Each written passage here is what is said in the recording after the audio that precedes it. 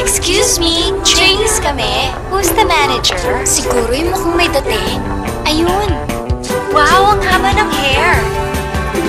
At mukha ding walang tikwas-tikwas. Can-afford na niya ang mamahaling treatments. Actually, she uses New Rejoice Long. Nagpapadulas ng tikwas-tikwas sa long hair na parang hair spa dulas. Ma'am, pinareport po kami sa inyo. Trainee din ako.